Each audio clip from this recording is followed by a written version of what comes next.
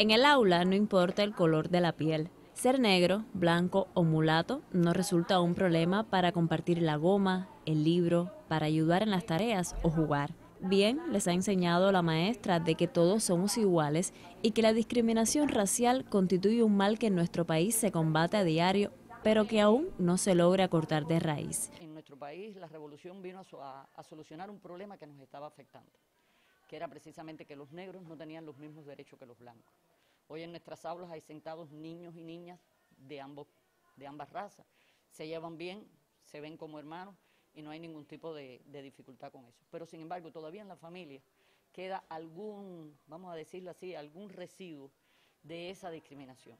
Y lo vemos, por ejemplo, cuando una niña blanca se enamora de un negrito y entonces la familia le dice, pero ven acá y tú no piensas adelantar la raza. ¿Por qué? Si lo más importante en la persona no es su raza, sino sus sentimientos, sus valores. Y eso hay que enseñárselo a los niños desde edades tempranas para que puedan después luchar por su derecho. Implementar acciones en todos los niveles de enseñanza que ayuden a fomentar una sociedad equitativa e inclusiva resulta una prioridad para el Ministerio de Educación en todos los niveles de enseñanza. Ejemplo de ello es el programa educativo para la prevención de la discriminación por el color de la piel. Este programa está muy a tono con todos los contenidos que se desarrollan en la grada curricular dentro del contexto escolar.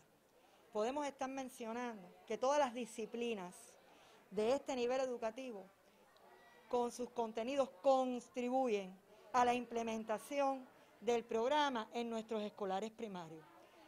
Desde la parte de la Dirección Provincial de Educación, los metodólogos provinciales, nos hemos eh, dado a la tarea de implementarlo con diferentes acciones. Primero, la preparación del docente, la preparación de ese maestro que va a llevar a cabo estos términos de eh, programa en sus actividades. Cómo el profe, de una manera eh, amena, diferente, lo puede estar llevando a nuestros escolares. Es de vital importancia el trabajo eh, con los cuadernos martianos que se trabajan en secundaria, en el nivel educativo de secundaria básica, donde se ve a través de la visión martiana todo el problema y de la manera que él lo vio el problema de la racialidad, como por ejemplo algunos de los textos que nosotros trabajamos es Mi raza, el general Antonio Maceo, la madre de los Maceos. El racismo y la discriminación racial es un tema que compete a todos como nación. Eliminar todas sus representaciones sociales desde edades tempranas y desde las escuelas contribuirá a la formación de hombres y mujeres de bien. Marian Cueto Groero, Notisur.